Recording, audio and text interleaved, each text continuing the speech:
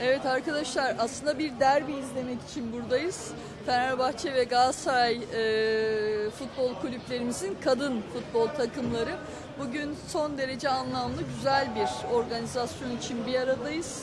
E, kadına yönelik şiddete karşı bir farkındalık kampanyasının bir parçası olarak bugün kadın futbolcularımız bir dostluk maçı yapacaklar. Biz de büyük bir e, zevkle, büyük bir memnuniyetle e, bu maçı izlemeye geldik. Bugün pek çok arkadaşımız e, bu e, çalışmaya destek veren e, arkadaşlarımızla bir arada izleyeceğiz.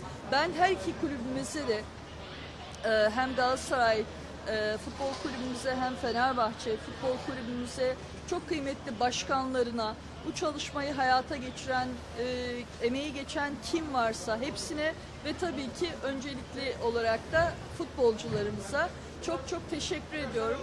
Bu e, her ne kadar bir farkındalık çalışmasıysa da aslında bir tarafında da e, genel olarak sporda ama özellikle futbolda e, hem e, dilin e, daha e, zarif, daha nezih e, tutulması, e, kadına yönelik şiddet ya da bir takım belki cinsiyetçi ifadelerden kurtulacak e, bir dilin geliştirilmesi noktasında da çok önemli e, olacağını doğrusu düşünüyorum.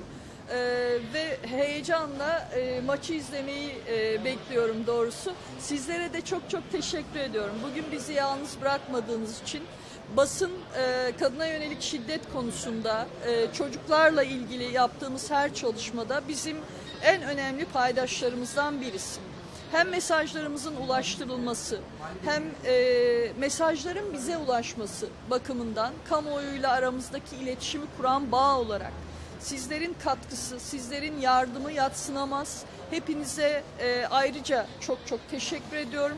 E, tekrar e, maçın e, maçımızın aslında e, hayırlı olmasını ve güzel dostça e, fair play e, çerçevesinde geçmesini ümit ediyorum. Öyle olacağından da hiç kuşkum yok. Bugün artık bir rekabet değil, e, bir dayanışmanın maçını izleyeceğiz. Ezeli iki rakip e, birlikte bir amaç için e, oynamış olacaklar. Bugün e, Fenerbahçeliler Galatasaraylı, Galatasaraylılar Fenerbahçeli olacak belki. Ve böylece güzel bir dostluk maçı olacak. Çok teşekkür ediyorum tekrardan. Görüşmek üzere.